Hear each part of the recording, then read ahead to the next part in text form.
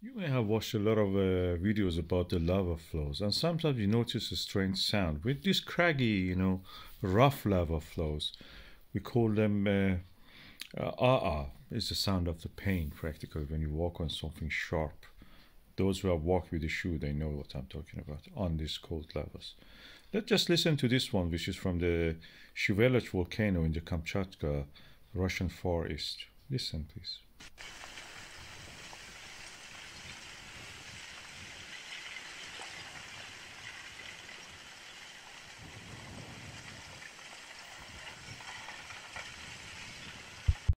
It is not this volcano's lava flow which make this sound. Everywhere that you have lava flow, when they get to this stage, they make this sound. Listen.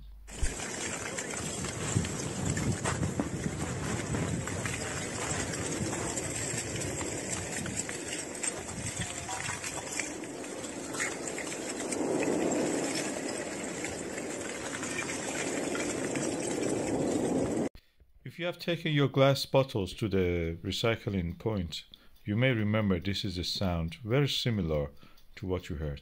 Let's listen. This is the sound I'm playing now.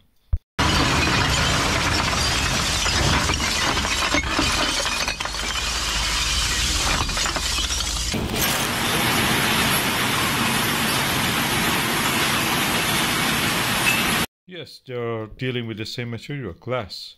The lava flow that you heard of has the sound of broken glass or breaking glass and flowing in that manner that you saw in the video. Lava, no matter how it is formed, where it is formed, either on the earth or even not on the earth, in another planet like moon, for example. We have Apollo 15 now here looking at the Hadley Rille, which is a lava tube full of lava, a collapsed roof.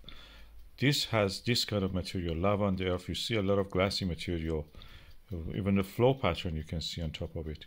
This is practically glass. Lava is mainly consisted of glass. The glass, which has not the time to actually form a crystal, and it can carry crystals inside it, as you can see in this video, in these uh, images, is uh, in the normal light and cross-polarized light. The black part is the actual uh, glass material. You see a lot of other crystals in this, but the main mass of it is glass. The glass appears dark the cross-polarized light.